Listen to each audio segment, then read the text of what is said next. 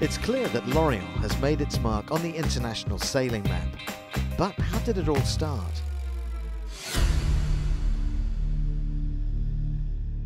Euh, the Keroman's base was built during World War II by the Germans, who chose Lorient as a strategic base for their submarines.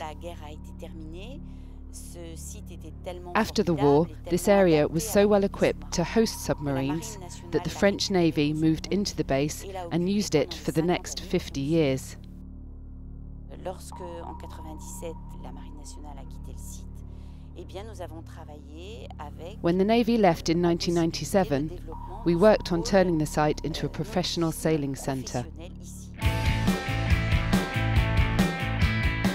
Offshore legend and Lorient native Alain Gautier was one of the first to see the potential in this Brittany port. When I saw the submarines leave in 1997, I realised there was a lot of space available, big pontoons that were interesting for us. So I asked for a spot.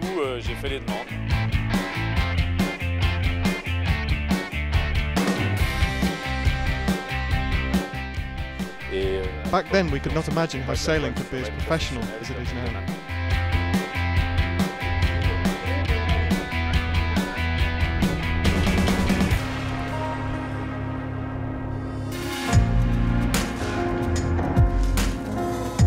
Sailing legend and father of French yachting Eric Tabarly inspired many sailors with his achievements, one of them being Franck Cammas.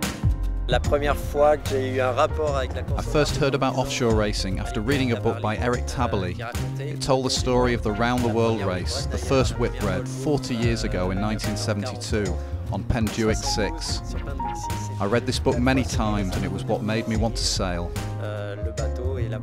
With his victory here in Lorient, Franck Cammas not only wrote a new page in sailing history, but also took a step closer to joining the elite band of skippers to have won the Volvo Ocean Race.